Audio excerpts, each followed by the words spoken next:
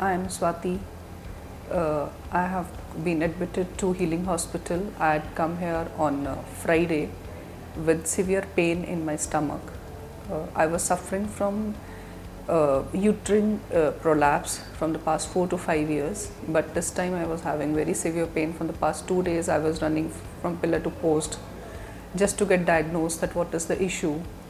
A friend of mine, a very dear friend of mine, Dr. Prabjeet, she is working here and she said, you come over?" I just came here and she handled everything so well. She introduced me to Dr. Uh, Ramandeep Kaur and uh, she diagnosed everything. She checked. Then she said that you have to go for a immediate surgery. And the way uh, everything was handled, uh, then Roma was there, Dr. Gunjan was there. All of them they ran pillar to post to get my surgery scheduled on Saturday since I am a working lady and I am very short of time. So, keeping in view the three days, three off days coming on Saturday, Sunday, and Monday, I was eager to get the surgery done on Saturday itself.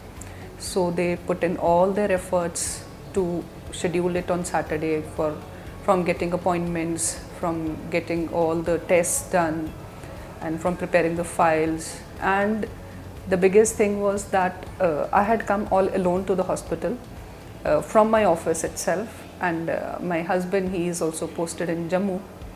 He was not available at that time. But the support and strength which the hospital staff gave me I never felt like that I am undergoing a surgery in the morning. Uh, I was very very comfortable and I felt that I am in very safe hands.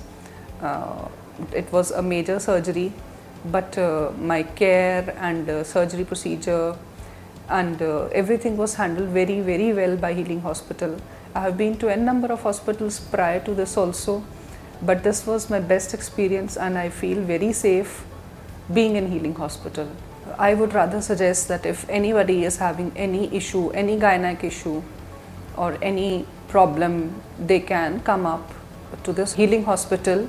Dr raman is there and uh, they have wonderful staff and you'll be taken care of. Thank you